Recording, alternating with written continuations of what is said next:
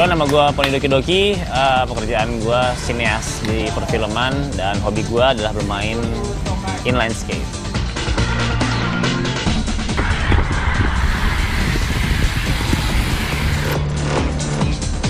Untuk anak-anak generasi muda jangan patah semangat, tetap terus berlatih untuk mengejar prestasinya sampai keluar negeri untuk mewakili Indonesia di kancah dunia.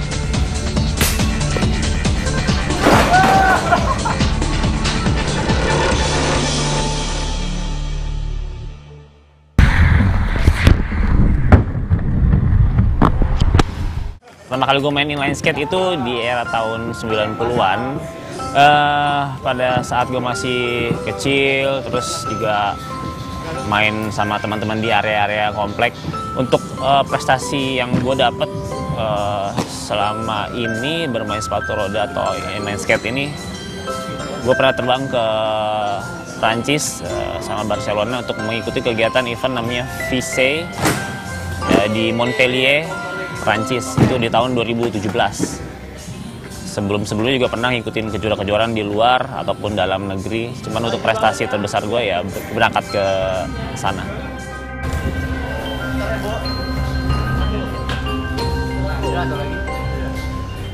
Uh, untuk kategori dalam main inline skate ini uh, sebenarnya ada yang gue tahu ya setahu gue ada empat ya. Jadi ada agresif inline skate yang dimainin sama teman-teman di belakang. Yang kedua itu ada urban atau bermain jalan-jalan uh, rekreasional biasa. Yang ketiga itu uh, quad skate. Itu quad skate jenisnya yang kayak olga sepatu roda kita zaman dulu. Terus ada dia bentuknya rodanya roda empat. Kalau ini kan inline skate sejajar. Yang terakhir adalah uh, inline skate yang jenisnya yang speed yang untuk uh, main di velodrome muterin dom gitu ya untuk teman-teman dari uh, atlet speed ya. Uh, sejauh ini pemerintah nge-support dan ngedukung banget untuk komunitas extreme sport ya, bukan cuma di skateboard dan di BMX, bahkan olahraga jenis ekstrim lainnya kayak uh, parkour, uh, breakdance gitu-gitu aja. Sejauh ini uh, mereka mensupport untuk komunitas inline skate, uh, memfasilitasi kegiatan olahraganya, terus juga memberangkatkan beberapa atlet-atlet muda yang berpotensi untuk mewakili uh, kejuaraan-kejuaraan di luar ataupun dalam negeri.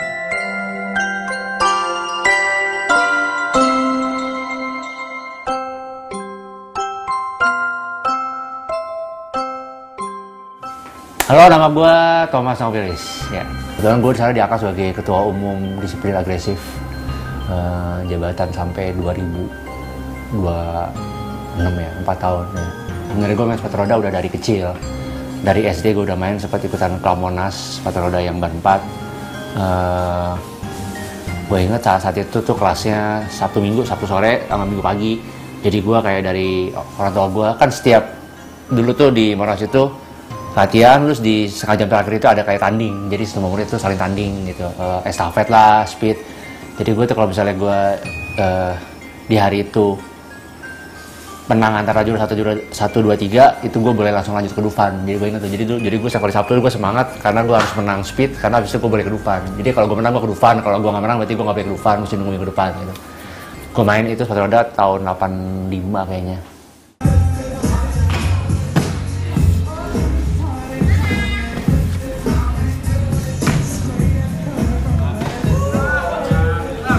sebenarnya gue hobi gue itu sebenarnya yang paling kental di gue itu dari gue cobain hobi itu airsoft sama sepatu roda. Cuman airsoft itu uh, banyak kendalanya karena mainnya harus rame-rame. Jadi sedangkan kalau gue lagi mood main, gue gak ada tim jadi gak usah main gitu. Sedangkan kalau sepatu roda itu lo gak nyusahin orang lah.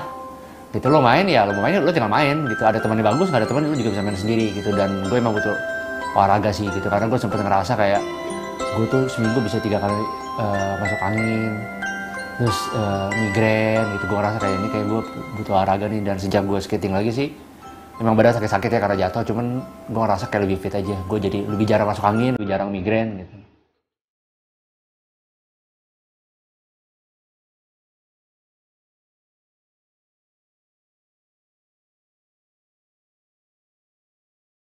Dengan adanya sepatu roda ini atau inline skate di generasi-generasi sekarang sangat ngebantu ya. Apalagi kemarin sempat kita menjalani masa-masa pandemi.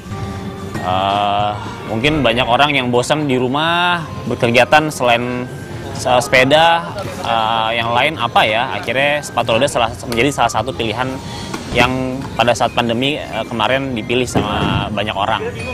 Untuk generasi-generasi sekarang juga pun uh, sepatu roda menjadi peralihan bermain ya uh, dalam arti selain menjadi pilihan olahraga lain dia anak-anak muda juga mendapatkan waktu uh, olahraga dan jauh dari hal-hal yang negatif ya, ya lebih situ sih.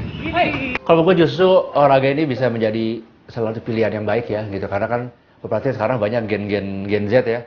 Karena itu benar-benar nggak terlepas dari gadget gadget, game, gadget, games, hidup itu nggak sehat banget gitu kayaknya dalam ruangan kena AC dalam ruangan kena AC. Memang game harus bisa nyetak duit gitu kan.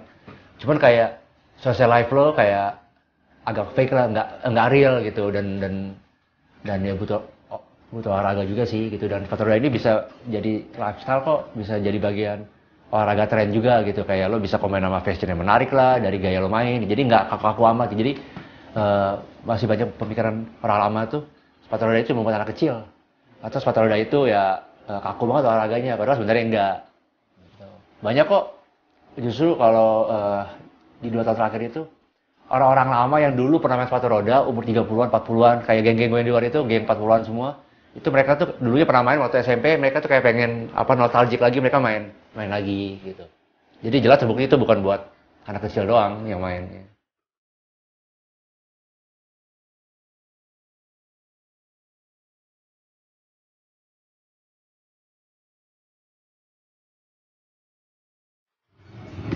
Kalau banyak orang yang memandang sisi negatif dari sepatu roda ini, kalau menurut gue uh, nggak juga ya, karena mungkin karena yang kemarin sempat ada viral berita di media sosial, ada salah satu komunitas uh, para para sepatu roda yang di tengah jalan gitu. Itu juga kan sebenarnya mereka itu hanya melintasi uh, area uh, di luar dari lingkaran yang mereka biasa rute untuk olahraga atau biasa biasa mereka latihan gitu. Pandangan-pandangan masyarakat itu mungkin melihatnya sebagai negatif karena kita mainnya di jalanan, di area-area public space gitu, merusak fasilitas. Sebenarnya kita nggak merusak yang bagaimana ya, karena kita materialnya juga dari bahan plastik, bukan dari bahan besi atau bahan yang lain. Jadi uh, untuk masyarakat sih uh, gue sih menilai nggak nggak nggak yang ngejat terlalu uh, menyudutkan posisi negatif gitu sih enggak ya kalau gue.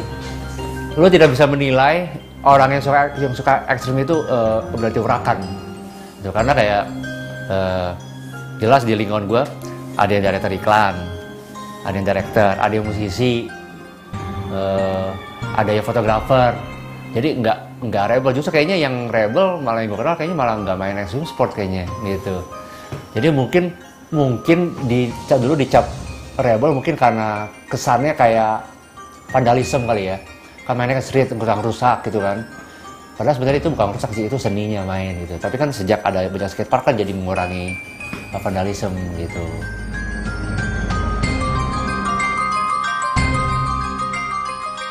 Oh, kalau untuk teman-teman yang menggeluti olahraga ini secara serius itu menurut gue menjanjikan ya. Karena kita juga sudah pertama disupport sama pemerintah terus juga kedua disupport sama asosiasi dan komunitas dan juga yang ketiga kita bisa hidup dari dunia ini dengan dibantu sama teman-teman yang berada di komunitas. Kita uh, kalau kita sudah menjadi panutan dalam komunitas atau kita sudah menjadi atlet yang berprestasi itu bisa juga kita menjadi coach atau pelatih di uh, satu komunitas itu. Dan itu juga menjanjikan menurut gue karena kita bisa uh, melatih banyak orang dan mendapatkan uh, pendapatan dari itu tersebut ya selain kita prestasi dari hadiah-hadiah uh, kompetisi.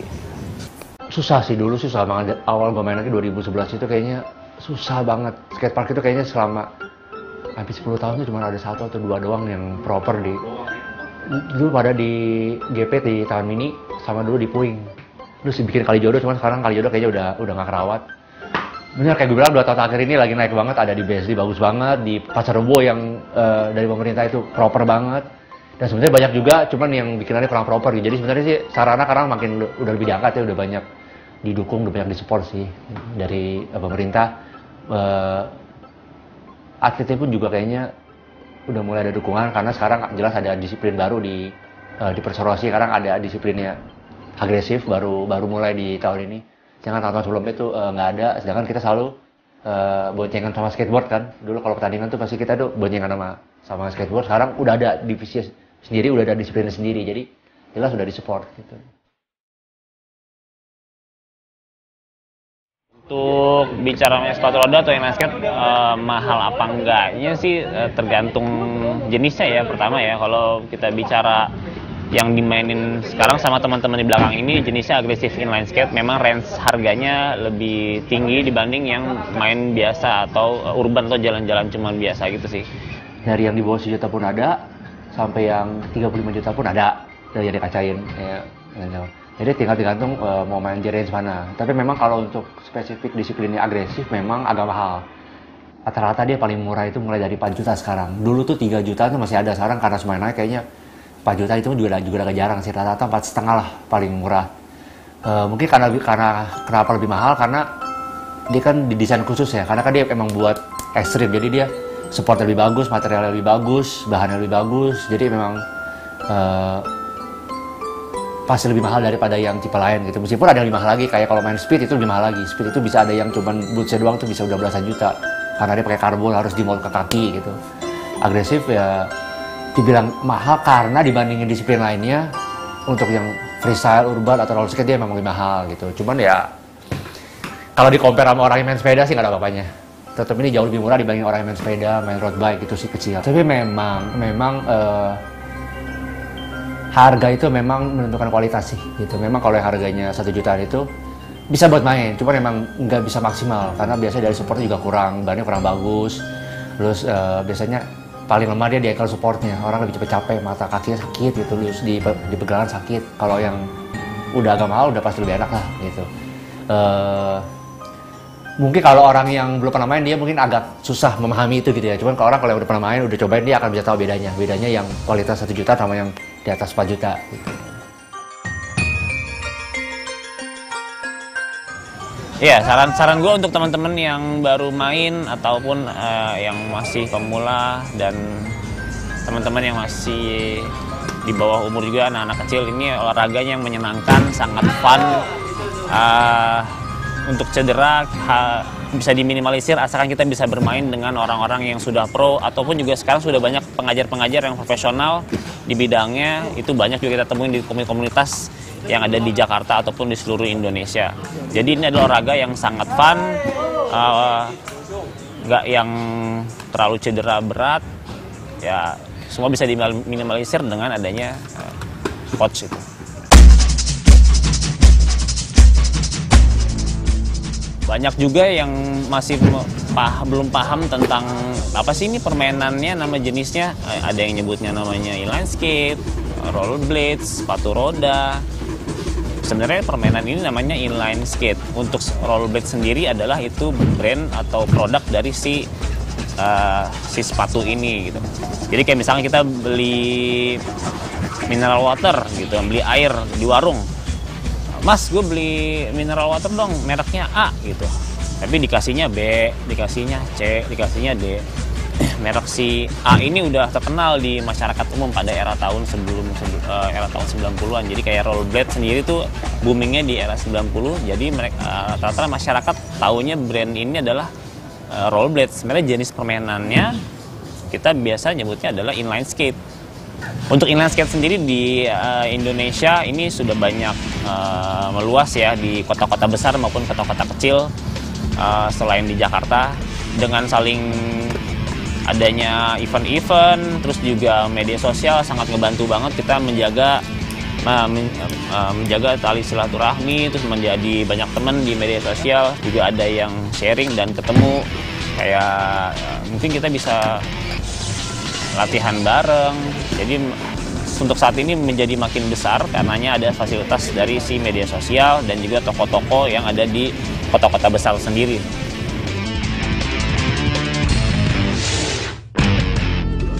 Harapan gue, gue pengen nggak kayak dulu-dulu yang gue dibilang itu kayak mati enggak, hidup enggak uh, gue lihat tiga tahun ini sudah bangkit banget sudah naik banget. Di luar pun juga pabrik pun juga pada pindah bikin pabrik yang lebih besar.